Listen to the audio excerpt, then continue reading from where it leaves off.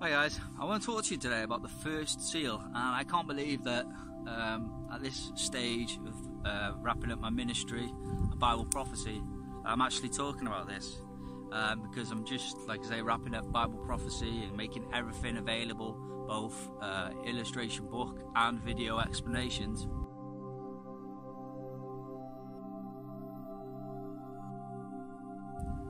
And it just so happens that I never actually made a video for the first seal. But I suppose you could say the best to last, but it's one of the most important things because seal number one is the first event, physical event that you're going to see. It's not from the heavens to be heard on earth, it's actually an earthly thing in its entirety. And that is um, written in Revelation 6.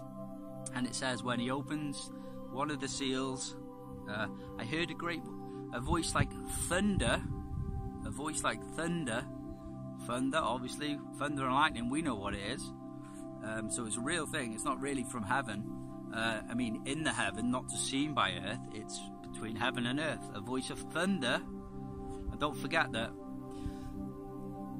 you know, the Trinity, you had lightning strike on the Vatican when the last Pope well, when the previous Pope, I mean, resigned, then it was a whack, a lightning strike before Francis came in, the last Pope.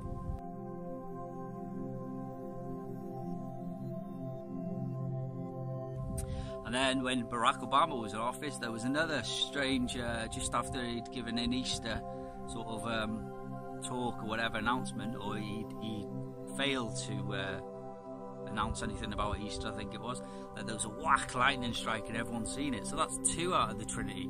But there's a third left, and this is what the seal, first seal is. So just think about that. A voice like thunder, thunder, lightning, could it be that the Trinity whoosh, is sealed with lightning, the third part of the Trinity?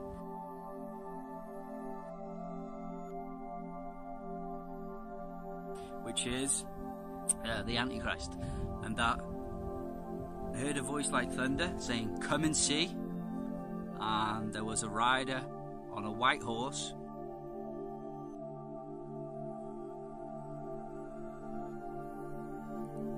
And he had a, he had a bow, and a crown was given to him, and he came forth conquering and to conquer.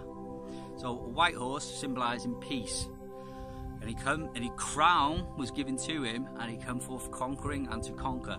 So by the way like i said this is the first event of the end of the age because this is the first of the seven seals. We got seven seals.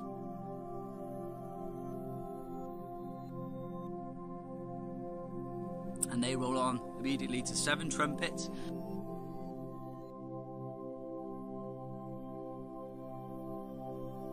they move on immediately to the seven bowl judgments.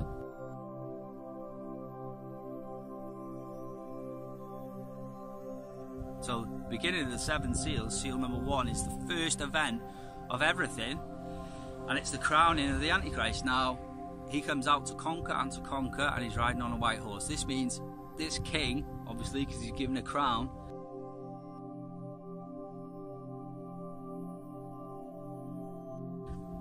comes out peacefully on a white horse. With peace he shall destroy many. So this is obviously talking about the false Christ or the false peace, the false Saviour. Because he's the only one that conquers. It says he comes out to conquer and to conquer. Like if you go on in Revelation, it says he rules. You know, in Daniel it says the king does as he will. Revelation says that the beast will be able to continue for 42 months, which is the last three and a half years.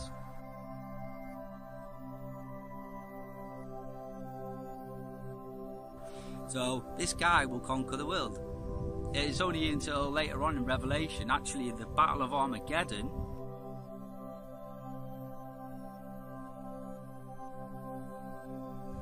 does Jesus conquer and defeat him. So this first seal about this rider on a white horse, a king coming to conquer, is talking about the false Christ who will come through the end of the age. Like I said, it's not until the King of Kings comes down at Armageddon to defeat him.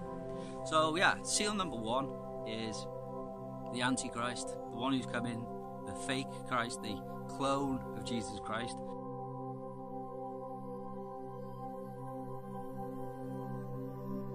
Come to deceive many and to be an, um, an pretending to be the Saviour of the world.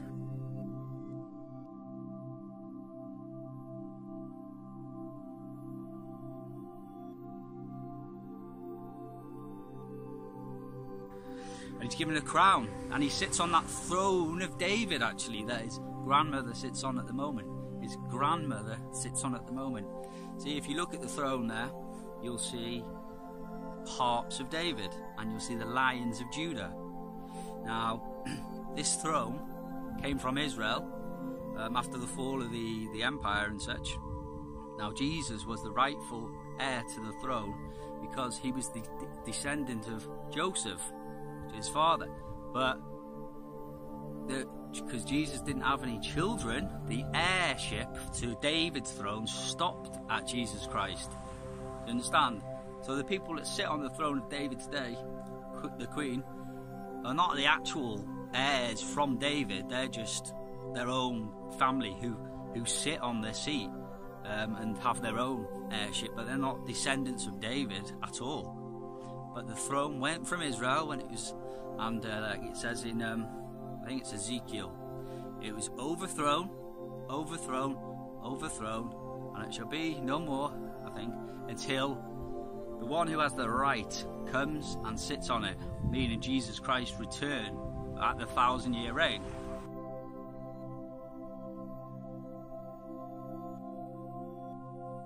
so it was overthrown from Israel to Ireland that's how the Irish got their emblem of the harp.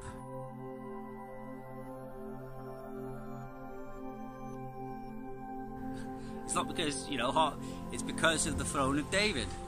And then it was overthrown to Scotland. Uh, the, I think his family, a person called Scota, and that's how Scotland got his name. And then it was overthrown from Scotland to England. And of course, that's how the English got their emblem of a lion from the throne of David, which had the lions of Judah.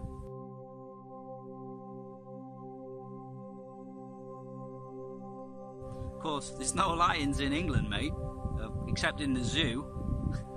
yeah, this is. Does it all make sense now? And you look at that throne, you'll see what I mean. That's the actual throne of David.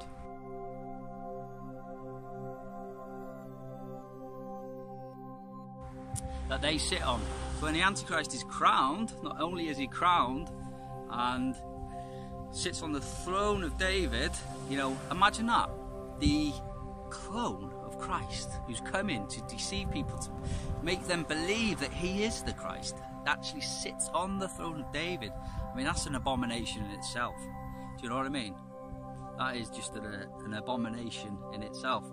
And when he sits on that throne of David, by the way, I hope people kind of click a little bit.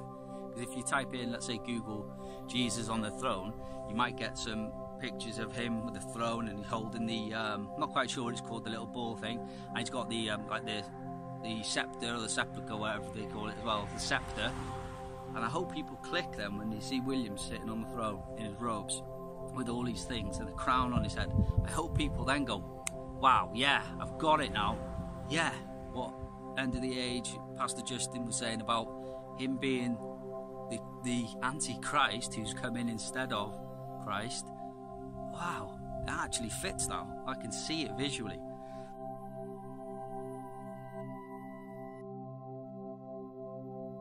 So I hope that's what occurs and people, there's a great revival among the nations. But that is the first of the seals and probably the most important of all. and when that happens, I'll be going out I'll be prophesying against him, no doubt. And I'll be travelling the UK. And I'll be coming back to right here, actually. Funnily enough, how that's amazing how God works, isn't it?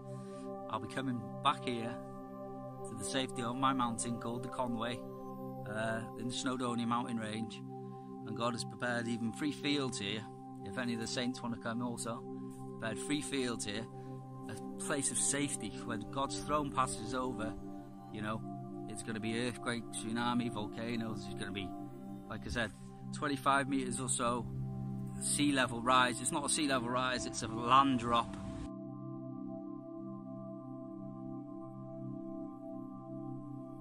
So this is a safe haven. Um, yeah, so I'll give you a little bit of a tour actually. If you can see, I don't know. You see green pastures, which is quite uncommon at the moment because we've had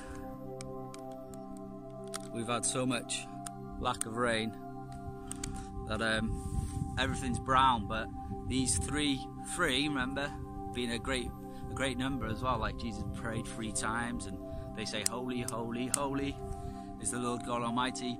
Three being a very nice number, and these three fields are beautiful green. So if the saints did want to come here to collect or gather together for the throne of God coming down, I suppose it'd be like a, a like a like a, a, like the wedding supper. I suppose it would be something of that uh, nature. So uh, if that's God's will, then that's God's will. But I know for sure that I'll be coming back here for before the sixth seal, before He passes over with great destruction upon the nations.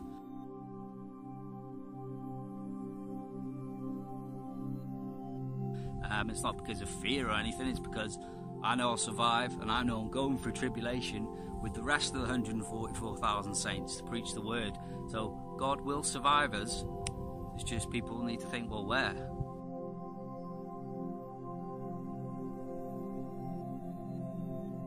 I'm sure God's Spirit will come upon them and they'll all flee to their own little Exodus place, as I call it. This is my Exodus spot here, and I've been preparing for a while now for this.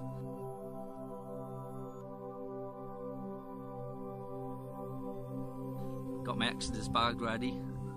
Even more thanks to the Crown there for stopping me from going home. Now I'm living out of my Exodus bag and things have just been completing and goals have been fulfilled. So thanks for that. You tried to persecute me like Job, but God has, you know, absolutely magnified my blessings in other ways. So he can't win even though they tried to win.